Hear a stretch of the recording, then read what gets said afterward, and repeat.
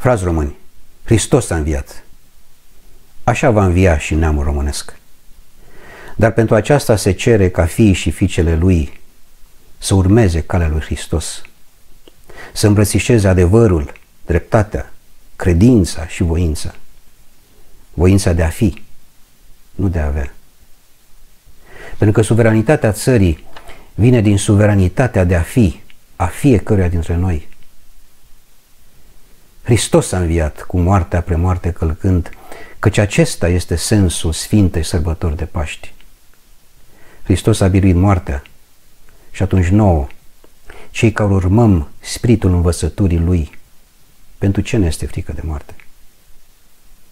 Dacă nu știm ce este moartea, cum putem să știm ce este viața?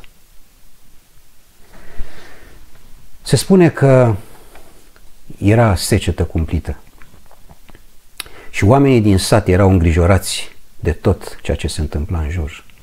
Se uscau plantele, mureau animale de sete, nu era apă, era o tragedie. Și atunci l-au rugat pe preotul satului să țină în Sfânta Biserică o slujbă, doar, doar se va milostivi Dumnezeu să le dea ploaie. Și-au ținut slujbă mare, frumoasă, au îngenunchiat, au plâns, au rugat, dar la final de slujbă, ploaia nu a venit. Și oamenii au plecat spre casele lor deznădăjduiți. Și la sfârșit din biserică a ieșit o fetiță, cu fața radiant de bucurie.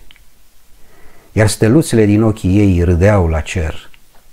Și ieșind din biserică, a deschis deasupra capului o umbreluță pe care o ținea în mână. Și atunci ploaia a venit.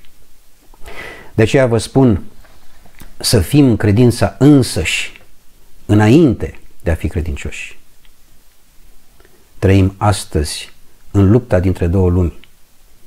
Cea veche, care crede în pântec, aflată sub primatul economicului și politicianismului ieftin, neoliberal, globalist, grabnic, vânzător de suflete, și lumea cea nouă, oamenii care se trezesc, ce crede în Duh, în primatul spiritului, a suveranității ființei umane. Noi pe aceste meleaguri ne-am născut cu conștiința de a avea o misiune istorică, aceea de a conduce România către libertate și suveranitate pentru apărarea identității noastre strămoșești. De a subordona toate valorile unei singure valori supreme, spiritul, esența ta, să știi cine ești înainte să spună alții cine ești. Ne trebuie o revoluție creștină care să reașeze raporturi de omenie și creștinătate între noi. România renaște. Se prăbușește țara, dar nu neamul. Se prăbușește speranța, dar nu nădejdea.